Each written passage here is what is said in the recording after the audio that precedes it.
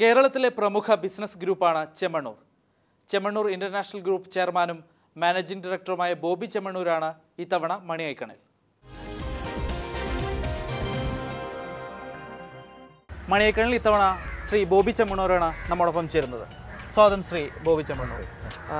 N B F C അതോടൊപ്പം തന്നെ jewellery രംഗത്ത് വളരെയധികം പ്രവർത്തനം കാഴ്ചവെക്കുന്ന ഒരു സ്ഥാപനം. പുതിയ പ്രവർത്തനങ്ങൾ എന്തൊക്കെയാണ്? പുതിയ ബിസിനസ് ഐഡിയകൾ എന്തൊക്കെയാണ്? ഇപ്പോൾ നമ്മൾ പുതിയതായിട്ട് തുടങ്ങിയിരിക്കുന്നത് പറക്കും ജ്വല്ലറി എന്ന് പറയുന്ന സഞ്ചരിക്കുന്ന ജ്വല്ലറിയാണ്. ഇപ്പോൾ എല്ലാവരും കടകളിൽ പോയാണ് സ്വർണം വാങ്ങിയിരുന്നത്. ഇനി വീട്ടുപടിക്കലേക്ക് എത്തുക എന്നതാണ് പുതിയൊരു സംരംഭം. ഇത് അമേരിക്കയിൽ മാത്രമേ ഇത് ഉള്ളൂ. ഏഷ്യയിൽ ആദ്യമായിട്ടാണെന്നാണ് എന്റെ വിശ്വാസം ഇങ്ങനൊരു സംവിധാനം. ഇതിന്റെ പ്രധാനമായിട്ടും ഇതിന്റെ ഒരു ഉദ്ദേശം സ്വർണം വില കുറച്ച് ജനങ്ങളിലേക്ക് എത്തിക്കുക എന്നുള്ളതാണ്. അതെങ്ങനെ വില കുറച്ച് എത്തിക്കാൻ പറ്റും? ഈ ഇപ്പൊ നമ്മൾ- കൂടുതൽ എക്സ്പെൻസ് വരുന്നാൽ അല്ല അല്ല അങ്ങനെയല്ല. ഇപ്പോൾ ഒരു ജ്വല്ലറി തുടങ്ങണമെങ്കിൽ ഒരു മുപ്പത് നാൽപ്പത് കോടി രൂപ ചിലവാണ്. സ്റ്റോക്ക് കട സ്റ്റാഫ് ഒരുപാട് കാര്യങ്ങളുണ്ട്. അപ്പോൾ ഒരു പത്ത് കട തുടങ്ങണമെന്ന് വിചാരിക്കുക. മുന്നൂറ് നാനൂറ് കോടി രൂപ ചിലവ് വരും. അപ്പോൾ അത്രയും പൈസയുടെ ബ്ലോക്ക് ഇൻവെസ്റ്റ്മെന്റ് അത്രയും സ്റ്റാഫ് ആയിരക്കണക്കിന് ഇലക്ട്രിസിറ്റി എന്ന് പറഞ്ഞാൽ ഒരുപാട് ചിലവുകളുണ്ട്. അതേസമയം ഒരു ജ്വല്ലറി പല സ്ഥലത്തേക്കും മൂവ് ചെയ്യുമ്പോൾ അത്രയും ലക്ഷക്കണക്കിന് കോടിക്കണക്കിന് രൂപയുടെ ചിലവ് ചുരുക്കാൻ പറ്റും. അങ്ങനെ വരുന്ന ആ എക്സ്പെൻസ് വില കുറച്ചും കൂലി കുറച്ചും ഉപഭോക്താക്കളിലേക്ക് എത്തിക്കുക എന്ന കൺസെപ്റ്റാണ് ഞാനിവിടെ ഇൻട്രൊഡ്യൂസ് ചെയ്തിട്ടുള്ളത്. മറ്റൊന്ന് ഓക്സിജൻ സിറ്റിയാണ് അതിന്റെ ഒരു പദ്ധതിയുടെ ഓക്സിജൻ സിറ്റി ഒരു അറുപത്തിരണ്ട് ഏക്കറയിലാണ് ഇത് തുടങ്ങുന്നത്. അതിന്റെ പേപ്പർ വർക്കുകളൊക്കെ നടന്നുകൊണ്ടിരിക്കുകയാണ്. ലൈസൻസ് വർക്കും കാര്യങ്ങളൊക്കെ ആയിട്ട്. ഇത് കേരളത്തിലെ തന്നെ ഏറ്റവും വലിയൊരു പ്രോജക്റ്റാണ് ഇത്. അറുപത്തിരണ്ട് ഏക്കറയിൽ ഒരു ടൗൺഷിപ്പ് ഇല്ല എന്നാണ് ഞാൻ മനസ്സിലാക്കുന്നത്. അതിൽ എല്ലാ സംഭവങ്ങളും വരുന്നുണ്ട്.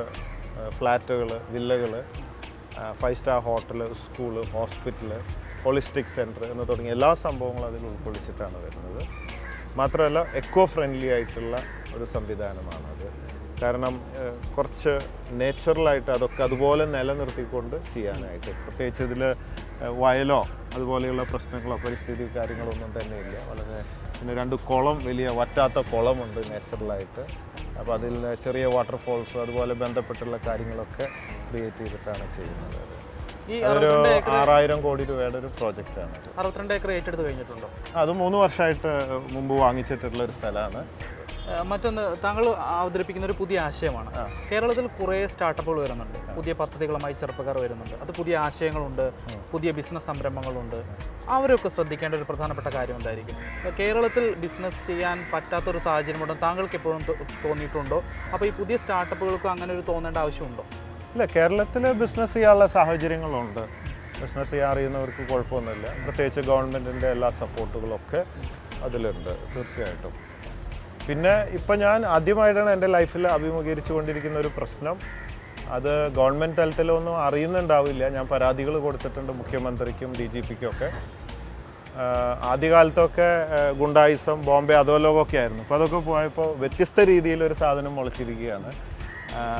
ബ്ലാക്ക് മെയിലിംഗ് അതാണ് അറിഞ്ഞത്. കാരണം എന്റെ ഒരു പേഴ്സണൽ സി ഡി എഡിറ്റ് ചെയ്തുകൊണ്ട് അഞ്ച് മിനിറ്റ് ആക്കിക്കൊണ്ട് കണ്ടാൽ തെറ്റിദ്ധരിക്കുന്ന രൂപത്തിലേക്ക് ആക്കിക്കൊണ്ട് ഒരു വ്യക്തി എന്നെ വിളിച്ചിട്ട് പറഞ്ഞു ബോബി രണ്ട് കോടി രൂപ തന്നാൽ ഞാൻ ഈ സി സി ഡി പ്രചരിപ്പിക്കുകയില്ല എന്ന് പറഞ്ഞു.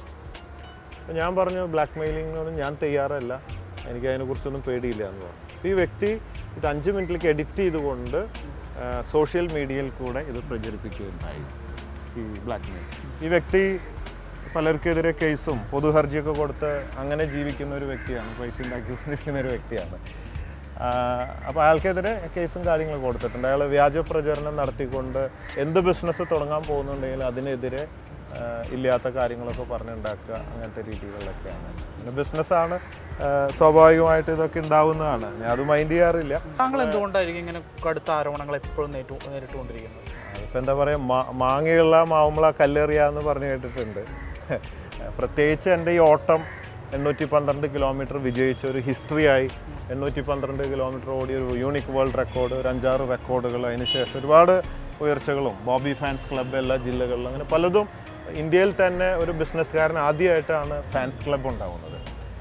അപ്പോൾ അങ്ങനെ പലതരത്തിലും വളരുന്നു. ഈ വില കുറച്ച് വിൽക്കാനുള്ള ഒരു സംവിധാനം പറക്കും ജ്വല്ലറി പിന്നെ സിറ്റി അമേരിക്കയിൽ ആദ്യമായിട്ടൊരു കേരള ബ്രാൻഡ്. സൗത്ത് ഇന്ത്യയിൽ തന്നെ the first time a brand ഒരു ജ്വല്ലറി തുടങ്ങുന്ന അമേരിക്കയിൽ ഇങ്ങനെ ആരും ചെയ്യാത്ത പുതിയ നൂതന ഐഡിയകളായിട്ട് മുമ്പോട്ട് വരുമ്പോൾ സ്വാഭാവികമായിട്ടും ആരെങ്കിലുമൊക്കെ എതിർ ഗ്രൂപ്പ് ഇതുപോലെയുള്ള ബ്ലാക്ക് മെയിൽ ചെയ്യുന്ന വ്യക്തികളെ സ്വാധീനിച്ച് സ്പോൺസർ ചെയ്ത് പൈസ കൊടുത്ത് നമുക്കെതിരെ കുപ്രചരണങ്ങൾ അയച്ചുവിടുക സ്വാഭാവികമായിട്ടുണ്ടാവുന്ന കാര്യമാണ്. താങ്കൾ പറയുന്ന believe in gold and invest in gold എന്നാണ് പറയുന്നത്. സ്വർണം നല്ലൊരു നിക്ഷേപത്തിനുള്ള യോഗ്യമായൊരു ആണോ? തീർച്ചയായിട്ടും സ്വർണവും ഭൂമിയും കാരണന്മാർ തന്നെ പറഞ്ഞു വരുന്നൊരു തത്വമാണ്. ഭൂമി ഉണ്ടെങ്കിൽ ഒരിക്കലും നശിക്കില്ല.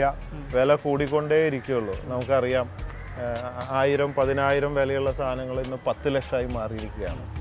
പക്ഷേ അത് വിൽക്കാനൊക്കെ സമയമെടുക്കും. എങ്കിലും അതൊരു അസറ്റ് തന്നെയാണ്. അതുപോലെ സ്വർണം നമ്മുടെ കയ്യിലുണ്ടെങ്കിൽ എപ്പോഴും നമുക്കൊരു ധൈര്യമാണ്. ആദ്യം ചെമ്മണ്ണൂർ ജ്വല്ലേഴ്സ് ആയിരുന്നു. ബോബി ആൻഡ് മറഡോണ എന്ന പേരിൽ പേര് ബ്രാൻഡ് ചെയ്യാൻ പറ്റുന്നുണ്ട്. അല്ലെങ്കിൽ താങ്കളുടെ സ്വയം തന്നെ ഒരു ബ്രാൻഡായി മാറുന്ന ഒരു നിലയിലേക്ക് കാര്യങ്ങൾ വളർത്തിക്കൊണ്ടുവന്ന് അതൊരു മാർക്കറ്റിംഗ് സ്ട്രാറ്റജിയാണോ അതെ തീർച്ചയായിട്ടും. മറഡോണ ലോകം കണ്ട ഏറ്റവും വലിയൊരു ലെജൻഡാണ് തീർച്ചയായിട്ടും ഈ കേരളം ഇന്ത്യയൊക്കെ വിട്ടിട്ട് ഇപ്പോൾ ഞാൻ അമേരിക്കയിൽ തുടങ്ങി മലേഷ്യയിൽ പല രാജ്യങ്ങളിലും തുടങ്ങി. അപ്പോൾ അവിടെയൊക്കെ പോകുമ്പോൾ ബോബി ആൻഡ് മറഡോണ എന്ന് പറഞ്ഞാൽ മറഡോണയെ അറിയാത്ത ആരുമില്ല അപ്പോൾ ഈസി ആയിട്ട് നമുക്ക് ആ ബ്രാൻഡ് ഇൻട്രൊഡ്യൂസ് ചെയ്യാനും ജനങ്ങളിൽ എത്താനും മാർക്കറ്റ് ചെയ്യാനും സെയിൽസ് പിടിക്കാനും ഒക്കെ വളരെ സഹായമാണ്. ഭാവിയിൽ ഇൻവെസ്റ്റ്മെന്റിനൊക്കെ പ്രത്യേകിച്ച് കേരളത്തിൽ ഏതെല്ലാം മേഖലയിൽ നിക്ഷേപം നടത്താനാണ് താങ്കൾ ഉദ്ദേശിക്കുന്നത്? ഞാൻ തീർച്ചയായിട്ടും നേരത്തെ പറഞ്ഞ സ്വർണവും ഭൂമിയാണല്ലോ എപ്പോഴും നിൽക്കുന്നത്. ജ്വല്ലറികളും പിന്നെ ഇതുപോലെയുള്ള ടൗൺഷിപ്പ് പ്രോജക്റ്റുകളും ആണ് മുമ്പോട്ട് കൊണ്ടുപോകാൻ पेशे thank you thank you very much